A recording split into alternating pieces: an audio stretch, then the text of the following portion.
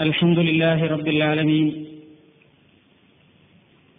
والصلاة والسلام على أشرف المرسلين محمد على آله وصحبه أجمعين.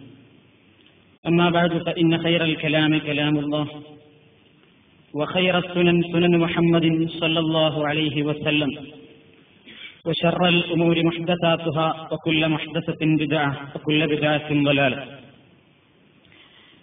സഹോദരന്മാരെ സുഹൃത്തുക്കളെ കുറെ കാലമായി നമ്മൾ വിശദീകരിച്ചുകൊണ്ടിരിക്കുന്ന നമസ്കാരം എന്ന വിഷയം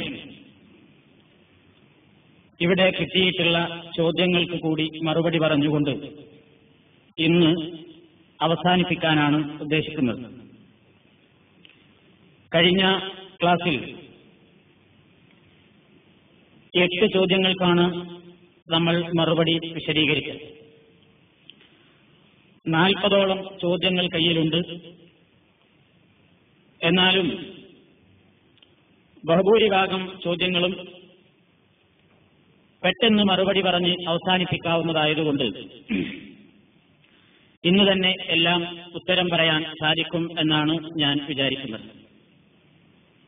ഒമ്പതാമത്തെ ചോദ്യം വ്യഭിചാരികൾക്ക് വേണ്ടി മയ്യത്ത് നമസ്കരിക്കാൻ പാടുണ്ടോ? അവരിൽ ജനിച്ച മക്കൾക്ക് വേണ്ടിയും നമസ്കരിക്കാൻ പാടുണ്ടോ? ഇതാണ്. ഇതിനെ സംബന്ധിച്ച് പണ്ഡിത ലോകം പണ്ഡിത ലോകം അഭിപ്രായപ്പെട്ടിട്ടുള്ളത്. കാലൽ കാവി മധുഹബുൽ കാഫ പണ്ഡിതന്മാരുടെ അഭിപ്രായം അസ്സലാത്തു അല തുല്യ മുസ്ലിം. ഏത് മുസ്ലിമിനായിരുന്നാലും അവൻ മരിച്ചാൽ നമസ്കാരം നിർവഹിക്കപ്പെടണം എന്നാണ്. മഹദൂദിൻ മർജൂമിൻ ഒരു കുറ്റം ചെയ്തിട്ട് ഹദ് കിട്ടിയിട്ട് മരണപ്പെട്ടിട്ടുള്ള മുസ്ലിമാണെങ്കിലും വ മർജൂമിൻ എറിഞ്ഞു കൊല്ലപ്പെട്ട മുസ്ലിമാണെങ്കിലും വ കാത്തിലി ആത്മഹത്യ ചെയ്തിട്ടുള്ള മുസ്ലിമാണെങ്കിലും വ വലതി ദിന ജാരസന്ധാനമാണെങ്കിലും മയ്യത്ത് നമസ്കരിക്കണം. ഇതാണ് ബഹുഭൂരിപക്ഷം പണ്ഡിതന്മാരുടെയും അഭിപ്രായം.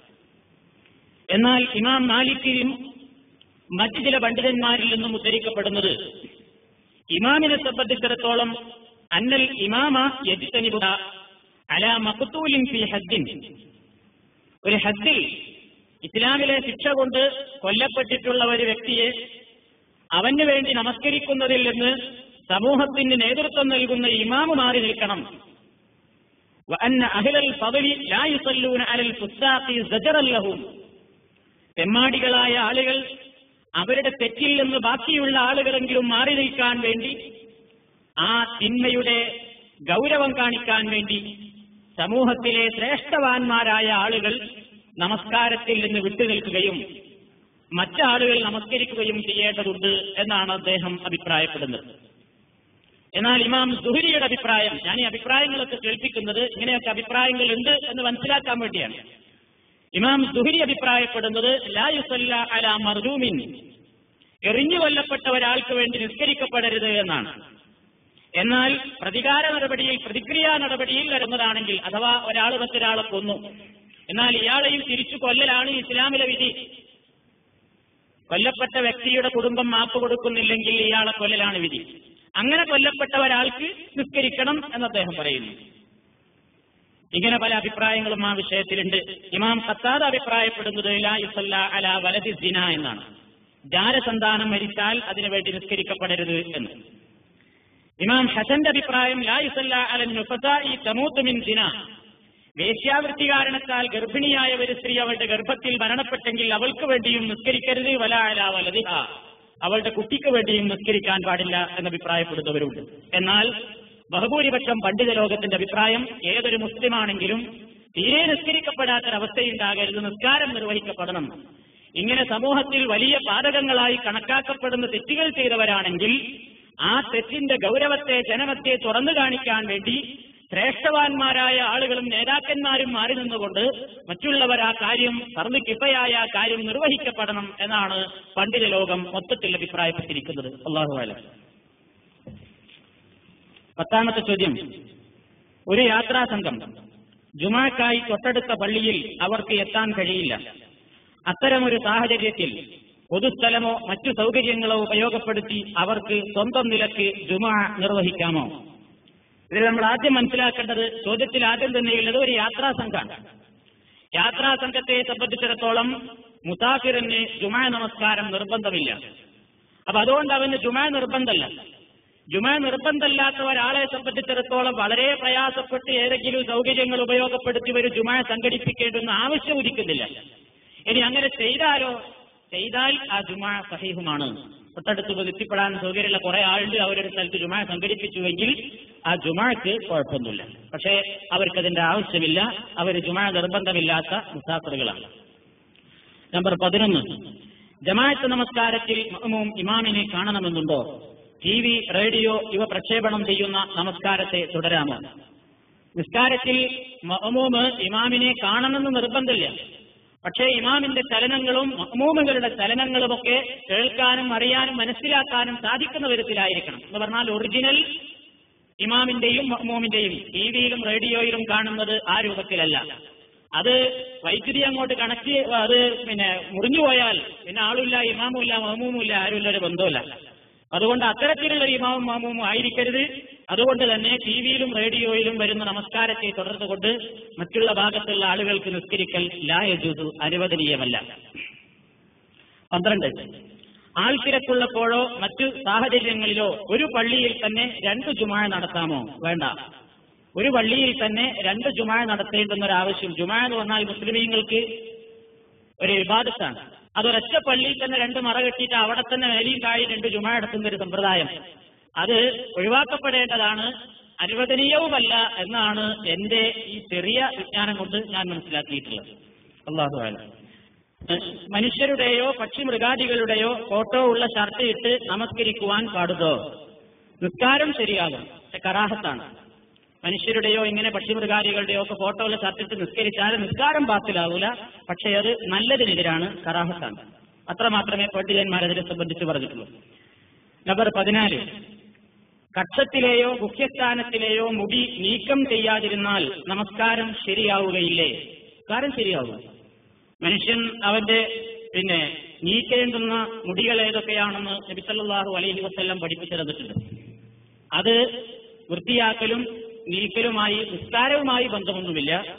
വൃത്തിയുടെ ആവശ്യത്തിന് വേണ്ടി പ്രവാചകൻ പഠിപ്പിച്ചിരുന്ന വൃത്തി സ്വീകരിക്കുവാൻ വേണ്ടി നമ്മളത് ചെയ്യുന്നു.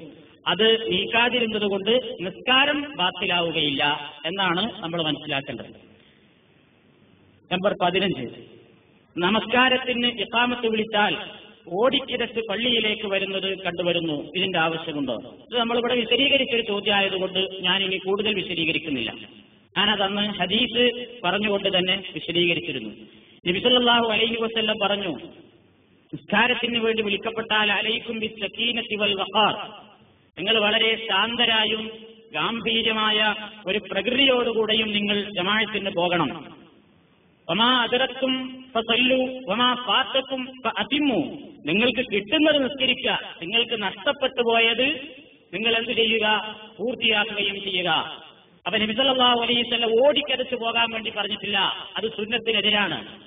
ഓടിക്കരച്ചു പോയിട്ട് പെട്ടെന്ന് റുക്കുവൊക്കെ കിട്ടാൻ വേണ്ടിയിട്ടുള്ള ഈ പോക്ക് അങ്ങനെ നിസ്കാരത്തിലേക്കുള്ള പോക്ക് പ്രവാചകൻ നിരുത്സാഹപ്പെടുത്തിയിട്ടുണ്ട്. അതുകൊണ്ട് ശാന്തമായി അച്ചടക്കത്തോടുകൂടെയാണ് പോയിട്ട് നേരത്തെ കിട്ടണമെങ്കിൽ നേരത്തെ പോയിക്കോ. നേരത്തെ കിട്ടണോ? നമ്മൾ നേരത്തെ പോവുക. അതല്ല നേരത്തെ പോകൂല പിന്നെ ഓട്ടമാണെങ്കിൽ അത് വേണ്ട.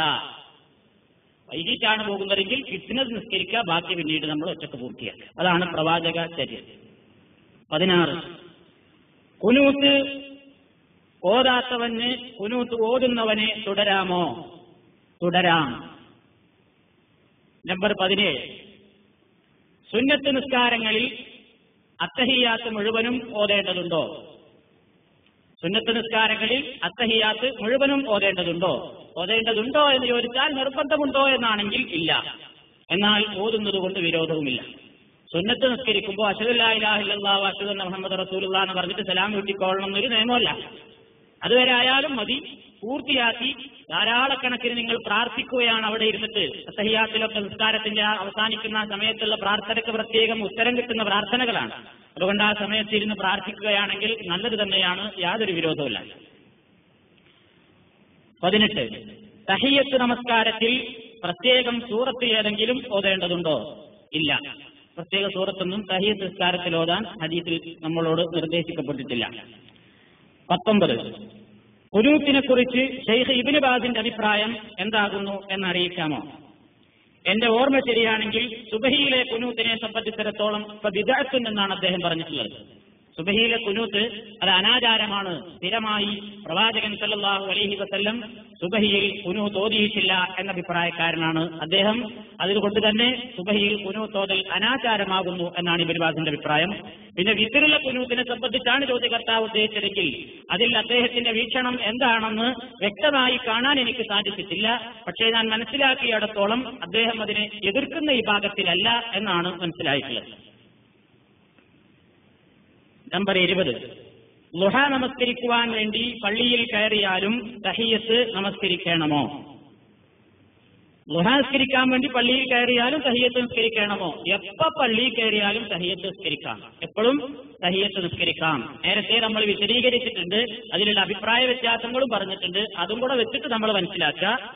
ആ കാര്യത്തിൽ ലുഹ നിസ്കരിക്കാൻ കയറിയതാണ് എന്നതുകൊണ്ട് എത്തില്ല തഹിയത്ത് വേണ്ട എന്ന് പറയുന്നില്ല. അപ്പോ ഏത് അവസരങ്ങളിലും പള്ളിയിൽ കയറുമ്പോൾ തഹയ്യത്ത് നമസ്കരിക്കാവുന്നതാണ്. അതിലുള്ള അഭിപ്രായ വ്യത്യാസം ആ വിഷയത്തെ സംബന്ധിച്ച് പ്രത്യേകം വിശദീകരിച്ച ഭാഗം കാസറ്റിൽ പരിശോധിച്ചാൽ നിങ്ങൾക്ക് കേൾക്കാൻ സാധിക്കും. ഇരുപത്തിയൊന്ന്. വിത്തർ ഒന്നിച്ച് നമസ്കരിക്കുമ്പോൾ ഇടയിലെ അത്തഹിയാത്ത് വേണ്ടേ? ഇതാണ് ഒരു സംശയം. അതിനെ സംബന്ധിച്ച് ഹദീസുകളിൽ കാണുന്നത് വിത്തർ നബിസല്ലാഹു അലൈഹി വസ്ല്ലം ഒമ്പതായും ഏഴായും അഞ്ചായും മൂന്നായും ഒക്കെ നിസ്കരിച്ചിട്ടുണ്ട് പതിനൊന്നായും എല്ലാം നമസ്കാരം നിർവഹിക്കപ്പെട്ടിട്ടുണ്ട് ഇതിൽ തന്നെ അഞ്ച് നിസ്കാരം അഞ്ച് റക്കായത്ത് നബി നിസ്കരിച്ചപ്പോ ഒരു ഹദീസിൽ കാണാൻ സാധിക്കും ثم يوتر بخمس ركعات لا يجلس إلا في الخامسة ولا يسلم إلا في الخامسة അഞ്ച് റക്കായത്ത് കൊണ്ട് വിത്തറാക്കിയ സന്ദർഭത്തിൽ അവസ അഞ്ചാമത്തെ റക്കായത്തിലല്ലാതെ റസൂലുള്ള ഇരുന്നില്ല അത്തഹിയാത്തിന് വേണ്ടി ആ അവസാനത്തെ റക്കായത്തിൽ മാത്രമാണ് പ്രവാചകൻ സലാം വീട്ടിയതും അപ്പൊ അങ്ങനെ ഒരു രൂപമുണ്ട്. ഈ വിഷയത്തിൽ വന്നിട്ടുള്ള വിവിധങ്ങളായ ഹദീസുകളെ സംബന്ധിച്ച് പഠനം നടത്തിയ ശേഷം ഷെയ്ഖ് നാസറുദ്ദീനുൽ അൽബാനി അദ്ദേഹത്തിന്റെ സ്വലാത്തു തറാവീഹി എന്ന പേജിൽ എന്ന പുസ്തകത്തിൽ തൊണ്ണൂറ്റി എട്ടാമത്തെ പേജിൽ ഇങ്ങനെ പറയുന്നു. മേൽ പറഞ്ഞ കാര്യങ്ങളിൽ നിന്നെല്ലാം കൂടി നമുക്ക് രക്തചുരുക്കമായിട്ട് മനസ്സിലാക്കാം. അന്നൽ ഈ താറ വിത്തുര നമസ്കാരം. ബി ഹാദിഹിൽ അൻവാഇൽ മുതഖദ്ദിമ മേൽ പറഞ്ഞ ഏത് രൂപത്തിലാണെങ്കിലും അനുവദനീയമാണ്. വഅന്നൽ ഈതാറ ബി സലാസിൻ. എന്നാൽ മൂന്ന് റക്കായത്ത് കൊണ്ട് വിത്തറാക്കൽ എങ്ങനെ? ബി തശക്കുദൈനി കസലാത്തിൽ മകരിബി നമ്മൾ മകരി നിസ്കരിക്കുന്നത് പോലെ രണ്ട് റക്കായത്ത് കഴിയുമ്പോ ഒന്ന് ഇരുന്നിട്ട് പിന്നെ സലാം വിട്ടാതെ വീണ്ടും മൂന്നാമത്തെ റക്കായത്തിലേക്ക് എഴുന്നേറ്റുകൊണ്ട് മകരി നിസ്കരിക്കും പോലെ മൂന്ന് റക്കായത്ത് വിത്തറാക്കൽ. ലം ആ വിഷയത്തിൽ വന്നിട്ടില്ല. ഹദീസുൻ സഹീഹുൻ സരീഹുൻ. വ്യക്തമായ സ്ഥിരപ്പെട്ട ഒരു ഹദീസും ആ വിഷയത്തിൽ വന്നിട്ടില്ല.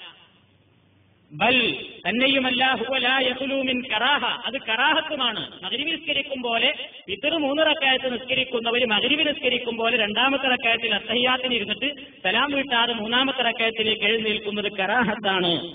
വലിയാലിക്ക അക്കാരണത്താൽ നഹ്താറു നാം അഭിപ്രായപ്പെടുന്നത് നാം തെരഞ്ഞെടുക്കുന്നത് അല്ല യഖുദ ബൈന ഒറ്റയുടെയും ഇരട്ടയുടെയും ഇടയിൽ ഇരിക്കാതിരിക്കലാണ് നല്ലത്. അപ്പൊ ആദ്യ അത്തഹ്യാത്തിൽ മരുവിന്റെ പോലെ രണ്ടാമത്തെ അടക്കാഴ്ച കഴിഞ്ഞിട്ട് ഇരിക്കാതെ നേരെ മൂന്നിൽ തന്നെയാണ് നീക്കുക. ഇനി ഒരാൾ ഇരിക്കുകയാണെങ്കിൽ വൈദാ കഴതാ സല്ലമ. രണ്ടാമത്തെ അടക്കായത്തിൽ ഒരാൾ അസഹ്യാത്തിൽ ഇരിക്കുകയാണെങ്കിൽ അവൻ സലാം കൂട്ടിക്കോട്ടെ പിന്നെ ഒറ്റയ്ക്ക് ഒരു റക്കാറ്റ് നിസ്കരിക്കുക എന്നാലും മകരിവിന്റെ പോലെ ചെയ്യരുത് കറാഹത്താണ്.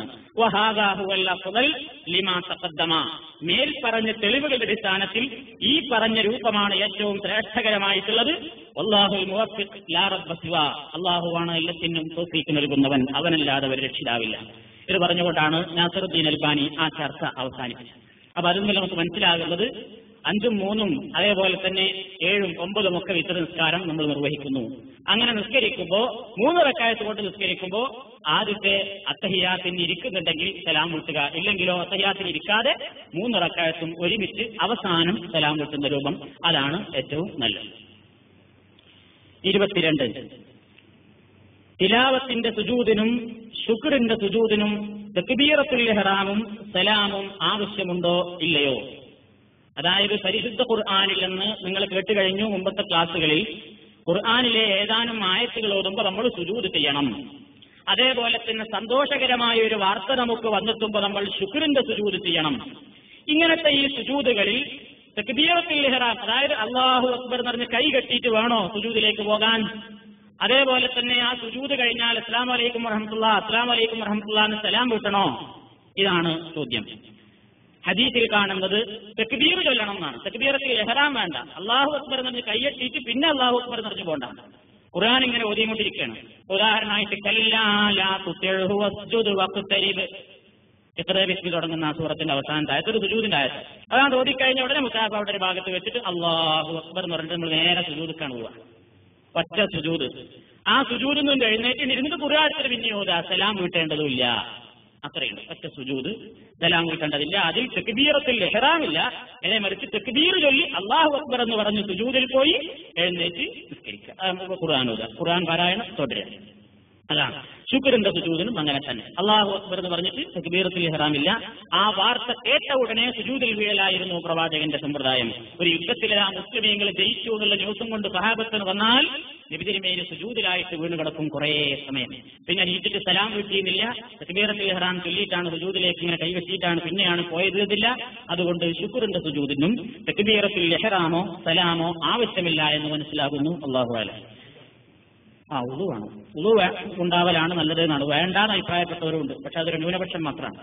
ഉളു വേണോ വേണ്ടേ എന്നാണ് ഇപ്പൊ ചോദിച്ചത്. അപ്പോ ഈ ശുക്രന്റെ സുജൂതിനും തിലാവത്തിന്റെ സുജൂതിനും ഉളു വേണോ വേണ്ടേ എന്നാണ് ഇപ്പൊ ചോദിച്ചിട്ടുള്ള ചോദ്യം.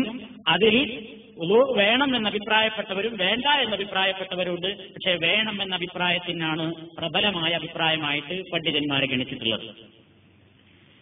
ഇരുപത്തി മൂന്ന് കുനൂത്തിൽ കൈ ഉയർത്താതെ പ്രാർത്ഥിക്കാമോ? കുനൂത്ത് തന്നെ വിധേയത്താണ് നമ്മൾ പറയുന്നത്. പിന്നെ ഇപ്പൊ കൈ ഉയർത്താതെ പ്രാർത്ഥനയുടെ വശ ഉദിക്കുന്നില്ല. അപ്പൊ കുനൂത്തിൽ ഇല്ലാത്തൊരു കാര്യമാണ്. അപ്പൊ അവിടെ നമ്മൾ മിണ്ടാതെ അവിടെ നിന്നാൽ മതി. കൈ ഉയർത്തിയിട്ട് ഉയർത്താതെ ഒന്നും പ്രാർത്ഥിക്കണ്ട. നമുക്ക് ഉയർത്താതെ പ്രാർത്ഥിക്കണം തോന്നുകയാണെങ്കിൽ പിന്നെ ഉയർത്തിയിട്ട് തന്നെ പ്രാർത്ഥിക്കാലോ? ആരെ ബോധ്യപ്പെടുത്താനാണത് അപ്പൊ അതുകൊണ്ട് ഇല്ലെങ്കിൽ ഇല്ലാണ്ടെങ്കിൽ ഉണ്ട് ആ ഒരു അഭിപ്രായത്തിൽ ഉറച്ചു നിൽക്കും. ഇരുപത്തിനാല് തഹിയത്ത് നമസ്കാരം ഫർളോ സുന്നത്തോ ആയ മറ്റ് നമസ്കാരങ്ങളുടെ കൂടെ ഒന്നിച്ചായി നിയത്ത് ചെയ്തുകൊണ്ട് നമസ്കരിച്ചുകൂടെ? ഇവിടെ നമ്മൾ മനസ്സിലാക്കേണ്ടത് സമയമുണ്ടെങ്കിൽ നമ്മൾ തഹിയത്ത് വേറെ തന്നെ നിസ്കരിക്കും ഇനി സമയമില്ലെങ്കിൽ അവൻ ആദ്യം അവിടെ വെച്ച് നിർവഹിക്കുന്ന നിസ്കാരം കൊണ്ട് തന്നെ ഈ തഹയ്യത്തിന്റെ പ്രതിഫലം അവന് കിട്ടുമെന്നാണ്. അപ്പൊ ആ അർത്ഥത്തിൽ നമുക്ക് സഹിയത്ത് നമസ്കാരം ഇല്ലാതെ നമ്മൾ കയറി ചെല്ലുമ്പോൾ അവിടെ പറഞ്ഞു നടക്കുന്നുണ്ട്. അല്ലെങ്കിൽ നമ്മൾ ആ റവാത്തിബ് സുന്നത്ത് മാത്രം നിർവഹിക്കുകയാണെങ്കിൽ അതിനെ സമയം കിട്ടിയതുള്ളൂ എങ്കിലും അവൻ ഈ പ്രതിഫലം കിട്ടും എന്ന അഭിപ്രായമാണ് പണ്ഡിതന്മാർക്കുള്ളത്. സുബാഹു അല.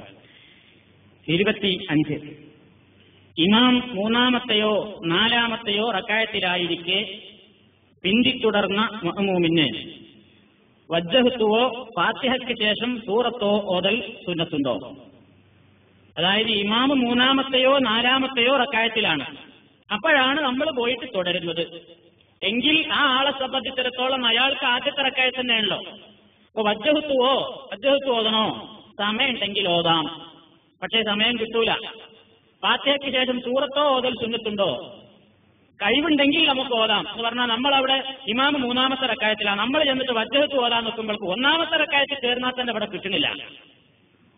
ഭയങ്കര സ്പീഡുള്ള ആൾക്കാരാണ്. ഒന്നാമത്തെ റക്കായത്തിൽ നമ്മൾ വജ്രത്തൊക്കെ ആക്കം പോലെ അർത്ഥമൊക്കെ ചിന്തിച്ചിട്ട് ഇങ്ങനെ പറഞ്ഞ അലഹമില്ലായി റബ്ബില്ലാലമീൻ പറയുമ്പോൾക്ക് സുജൂര് പോയിട്ടുണ്ടാവും ചിലപ്പോ. അപ്പൊ ആ ഒരു അവസ്ഥയും അതുകൊണ്ട് പലപ്പോഴും കിട്ടൂല. അപ്പൊ ആ ഒരു യജ്ഞത്തിന് നമ്മൾ തയ്യാറാവണ്ട. ഇമാം മൂന്നാമത്തെ റക്കായത്തിലാവുമ്പോൾ അദ്ദേഹത്തിന് വെറും ഫാത്തിഹ ഓതാന്റെ ബാധ്യതയുള്ളൂ അപ്പൊ നമ്മൾ അവിടെ വച്ചവത്ത് എല്ലാം നോക്കുമ്പോഴേക്ക് നമുക്ക് നിർബന്ധമായ ഫാത്തിഹ നഷ്ടപ്പെടും. ചൊല്ലിനെ കുഴപ്പമൊന്നുമില്ല പക്ഷേ സമയം കിട്ടൂല. അവർ ഭയങ്കര തർക്കത്തിൽ തന്നെ കളിക്കേണ്ടി വരും. അതുകൊണ്ട് അത് വേണ്ട. നമ്മൾ ആ അദ്ദേഹത്തെ ഒഴിവാക്കലാണ് നല്ലത്. ഫാത്തിഹ കിട്ടാൻ വേണ്ടി. പിന്നെ ഫാത്തിഹ ഫാത്തിഹ ഓതിയിട്ട് സമയം ചെയ്ത് വിചാരിക്കുക. ഇമാമ് ഫാത്തിഹ ഇങ്ങനെ ആക്കം പോലെ ഓതുള്ളൂ ഞാൻ അങ്ങനെ വിചാരിക്കുക. മൂന്നാമത്തെ റക്കായത്തിൽ നമ്മൾ പോയി തുടർന്ന്. ഫാത്തിഹ ഒരു കൈന്റെ സമയം ഉണ്ടെങ്കിലോ? സൂറത്ത് ഓതാം. ഓതുന്നുകൊണ്ട് വിരോധമൊന്നുമില്ല ഇരുപത്തി ആറ് തസ്ബീഹ് നമസ്കാരം എന്നൊരു നിസ്കാരമുണ്ടെന്ന് കേൾക്കുന്നു. ഇതിനെപ്പറ്റി ഒന്ന് വിശദീകരിക്കാമോ? എന്താണ് അതിന്റെ ഇസ്ലാമിക വിധി? അതായത് ഒരു വിചിത്രമായ ഒരു നിസ്കാരമാണ് ഈ തസ്ബീഹ് നിസ്കാരം എന്ന പേരിൽ അറിയപ്പെടുന്ന നിസ്കാരം. അതിന്റെ ചെറിയൊരു വിവരണം ഞാൻ മലയാളത്തിലെ ഹദീസ് ഞാൻ വായിക്കുന്നില്ല റിപ്പോർട്ട് ചെയ്യപ്പെട്ടിട്ടുള്ള സംഭവം വായിക്കുന്നില്ല അതിന്റെ ഒരു ചെറിയ വിവരണം തരാം. ഓരോ റക്കായത്തിലും ഫാത്തിഹയും സൂറത്തും ഓതിയതിന്റെ ശേഷം സുബാനല്ലാ അലഹമില്ല അള്ളാഹു അക്ബർ എന്ന് പതിനഞ്ച് വട്ടം ഓരോ റക്കായത്തിലും. പിന്നെ റുക്കോഴിൽ ഇത് ഇരുപത് വട്ടം. പിന്നെ നിവർന്നു നിന്ന് എഴുത്തുകാരിൽ പത്ത് വട്ടം. സുജൂത് രണ്ടിലും പൗപ്പത്ത് വീതം. അവക്കിടയിലെ ഇരുത്തത്തിൽ പത്ത് വീതം. രണ്ടാമത്തെ സുജൂതിൽ നിന്നും തല ഉയർത്തിയാൽ എഴുന്നേൽക്കും മുമ്പായി പത്ത്. ഇങ്ങനെ ഓരോ റക്കായത്തിലും എഴുപത്തഞ്ച് വീതം. നാല് റക്കായത്തുകളിലായി മുന്നൂറ് തവണ. മേൽ കണ്ട നമ്മൾ പഠിപ്പിച്ച രൂപത്തിലുള്ള കേട്ട ഈ രൂപത്തിലുള്ള തസ്ബീഹ് ഉരുവിട്ടുകൊണ്ടുള്ള ഒരു പ്രത്യേക നിസ്കാരമാണ് നാല് നാല് റക്കായത്ത്. ഓരോ റക്കായത്തിലും എഴുപത്തഞ്ച് വീതം തസ്ബീഹികൾ. അതിന്റെ സമയങ്ങളും എണ്ണങ്ങളും ഒക്കെ നിങ്ങൾ കേട്ടു കഴിഞ്ഞു. ഇങ്ങനെ ടോട്ടൽ നാലിലും കൂടി ആയിട്ട് മുന്നൂറ് തവണ അങ്ങനെ തസ്ബീഹ് ചെയ്തിട്ടുള്ള ഒരു നിസ്കാരം. ഇത് ഓരോ ദിവസവും കഴിയുമെങ്കിൽ മനുഷ്യൻ ഓരോ ദിവസവും ചെയ്യാം. അതിന് കഴിയില്ലെങ്കിൽ ആഴ്ചയിൽ ഒരിക്കൽ ചെയ്യണം. അതിനും സാധ്യമല്ലെങ്കിൽ മാസത്തിൽ ഒരു വട്ടം ചെയ്യണം. അതിനും നിവൃത്തിയില്ലെങ്കിൽ കൊല്ലത്തിലൊരിക്കലും ഇത് നിർവഹിക്കണം. എന്നാൽ ഭൂമിയിലെ പൂഴിയുടെ എണ്ണത്തോളം പാപങ്ങളുണ്ടായാലും ഇതുകൊണ്ട് പൊറുക്കപ്പെടുമെന്നാണ് വിശ്വസിക്കപ്പെടുന്നത്. ഇതിനെപ്പറ്റിയുള്ള ഇസ്ലാമിക വിധി എന്താണെന്നാണ് ഇപ്പോൾ നമ്മൾ മനസ്സിലാക്കുന്നത് തസ്ബീഹ് നിസ്കാരം എന്ന അധ്യായത്തിന്റെ കീഴിൽ ഹദീസിന്റെ കിതാബുകളിൽ കുറെ ഹദീസുകളുണ്ട്. പല കിതാബുകളിലുമുണ്ട്. പ്രത്യേകിച്ച് ഇമാം തിരുമുറയുടെ സുനനിൽ നമുക്ക് ഈ വിഷയത്തിലുള്ള അധ്യായവും പല ഹദീസുകളും നമുക്ക് കാണാൻ സാധിക്കും.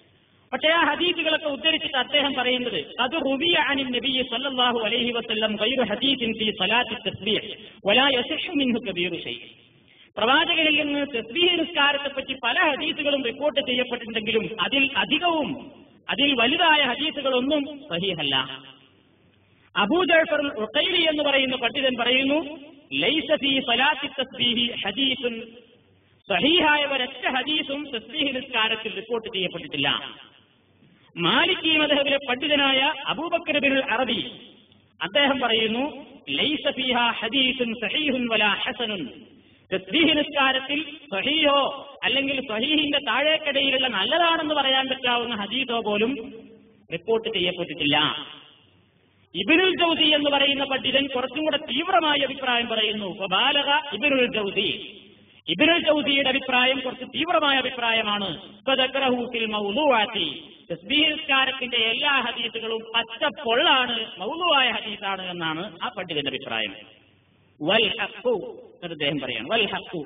യഥാർത്ഥം അന്ന വഴീഫ അവയുടെ എല്ലാ പരമ്പരകളും ദുർബലങ്ങളാണ്. അതിൽ തന്നെ ഇബിനെ പാസിൽ നിന്ന് ഉദ്ധരിക്കപ്പെടുന്ന ഒരു ഹദീസ് മാത്രമാണ് സഹീഹല്ലെങ്കിലും നല്ലത് എന്ന് പറയാവുന്ന ഒരു പരമ്പരയോടുകൂടി റിപ്പോർട്ട് ചെയ്തിട്ടുള്ളത് അബ്ദുല്ലാഹിബിൻ അബ്ബാസിൽ നിന്ന് റിപ്പോർട്ട് ചെയ്തിട്ടുള്ള സംഭവമാണ്. പക്ഷെ അത് തന്നെയും ഇല്ല അന്നഹു ഷാസുൻ അതും ഷാസാണ് ഷാസ് എന്ന് പറഞ്ഞാൽ ഹദീസ് പണ്ഡിതന്മാർ ഹദീസിന്റെ നിദാന ശാസ്ത്രം അറിയാവുന്ന പണ്ഡിതന്മാരുടെ അടുക്കൽ ഷാസായ ഹദീസ് ഗൈറു മഖബൂലാണ്. ഗൈറു മഖബൂൽ എന്ന് പറഞ്ഞാൽ മഖബൂൽ അല്ല സ്വീകാര്യയോഗ്യമല്ല പറഞ്ഞു അപ്പൊ അതാണ് ആ വിഷയത്തിൽ പണ്ഡിതന്മാർ അഭിപ്രായപ്പെട്ടുള്ളത് ഇനി വേറെ അഭിപ്രായം തന്നെയുമല്ല ഈ നിസ്കാരത്തിന് മുസ്ലിമീങ്ങൾക്ക് പരിചയമുള്ള സാധാ നമസ്കാരവുമായിട്ട് ഒരുപാട് വ്യത്യാസമുള്ളത് കൊണ്ട് തന്നെ ഈ നിസ്കാരം ഒരു ശരിയായ നിസ്കാരമല്ല നമുക്ക് മനസ്സിലാക്കാൻ അഭിപ്രായപ്പെടുന്ന ഒട്ടേറെ പണ്ഡിതന്മാരുണ്ട്. ഇമാം നവവി അദ്ദേഹത്തിന്റെ ഷറഹുൽ മഹസബിൽ ഒരിടത്ത് ഇങ്ങനെയാണ് പറഞ്ഞത് ഹദീസുഹ വഴീഫും. തസ്ബീഹ് നിസ്കാരത്തിന്റെ ഹദീസ് വഴീഫാണ്. അത് നല്ലതാണോ എന്നതിൽ ചിന്തിക്കണം എനിക്ക്. കാരണം അതിൽ സാധാരണ നമ്മൾക്ക് പരിചയമുള്ള നിസ്കാരത്തിന്റെ രൂപത്തെ മാറ്റിമറിക്കലുണ്ട്. അതുകൊണ്ട് അത് ശരിയാണെന്ന് എനിക്ക് തോന്നുന്നില്ല. ഒരിടത്ത് അദ്ദേഹം അങ്ങനെ പറഞ്ഞു. അതിന്റെ ഹദീസ് ശരിയല്ല. എന്നാൽ അസ്മാഉൽ എന്ന കിതാബിൽ അദ്ദേഹം പറഞ്ഞത് അത് ജാ ഫീ സലാത്തി തസ്ബീഹി ഫീ കിതാബി വഗൈരിഹി എന്നാണ്. തിരുമതിയിലും മറ്റു ചില കിതാബുകളിലും ഒക്കെ സഹീഹല്ലെങ്കിലും സഹീഹിന്റെ താഴേക്കിടയിലുള്ള ആ നല്ലതാണ് എന്ന് പറയാവുന്ന ചില ഹദീസുകൾ വന്നിട്ടുണ്ട് എന്ന് ഇമാൻ നവവി തന്നെ മറ്റൊരു കിതാബിൽ പറയുന്നു. എന്നാൽ മാലഫിൽ അധികാരി അഴിവന്നില്ല സെഹിബാബിനി അദ്ദേഹത്തിന്റെ തന്നെ അല്ലധികാരി എന്ന ഗ്രന്ഥം എഴുതിയപ്പോൾ അദ്ദേഹം പറയുന്നത് ആ വിരോധമല്ല നല്ലതാണ് എന്ന അഭിപ്രായത്തിലേക്കാണ് അദ്ദേഹത്തിന്റെ ചായവ്.